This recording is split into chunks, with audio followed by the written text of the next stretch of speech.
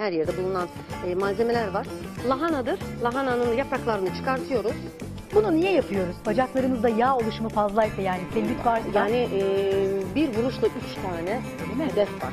Burada hem ödem, hem sülülük hem de üfleme.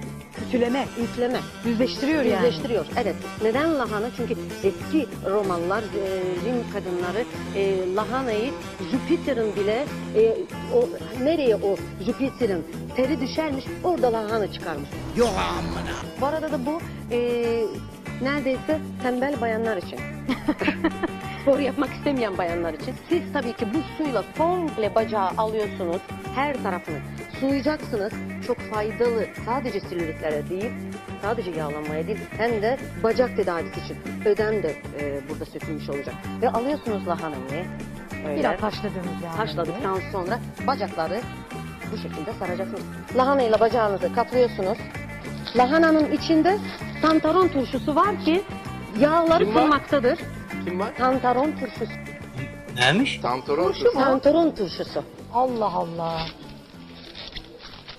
İşte yağları kıran e, vitamin de odur. Vitamin de odur.